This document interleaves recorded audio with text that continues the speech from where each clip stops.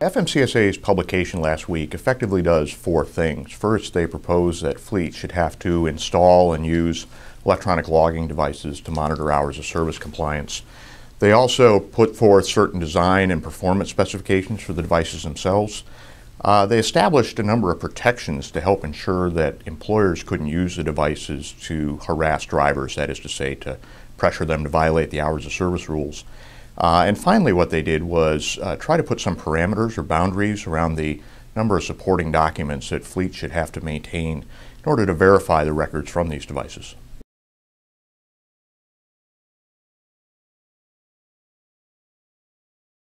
FMCSA has proposed that everybody who currently has to complete a paper log would have to adopt and use electronic logging devices, or in other words, uh, short haul drivers, those who use one of the log exemptions, uh, there's two of them, uh, would not have to adopt and use the devices unless they fail to meet the conditions of those exemptions more than episodically. So, for instance, if they fail to meet the conditions of their short haul exemption for more than eight days in any 30 calendar day period, uh, they would then have to use an electronic logging device.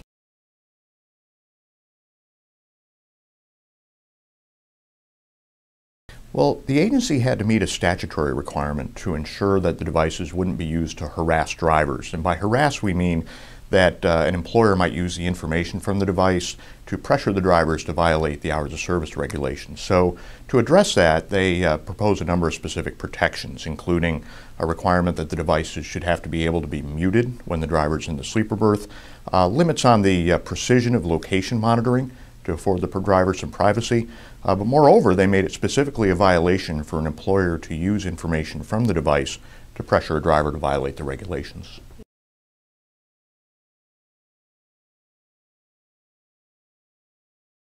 Under the current requirements, fleets have to maintain any document generated in the ordinary course of business which is or could be used to verify a log entry. That's very broad and vague, of course. Uh, so what they propose to do here is put boundaries around the number and types of records that fleets should have to keep. Specifically, they propose uh, five broad categories, and within those categories, fleets would have to use or uh, retain 10 documents per driver for every 24-hour period.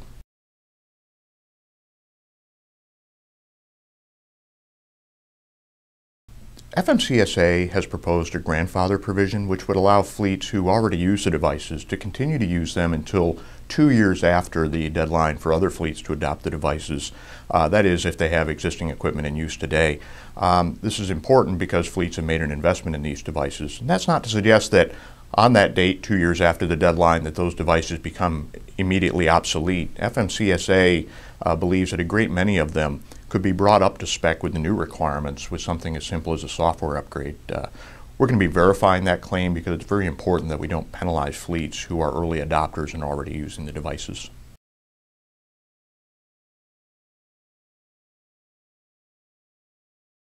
Right, it's very important to recognize that this is a proposed rule at this stage. FMCSA yet has to publish a final rule. The soonest we'll see that is a year from now. The effective date of that final rule would be no sooner than two years thereafter. And so really we're talking about an effective date for people to have to adopt and install the devices of at least three years from now.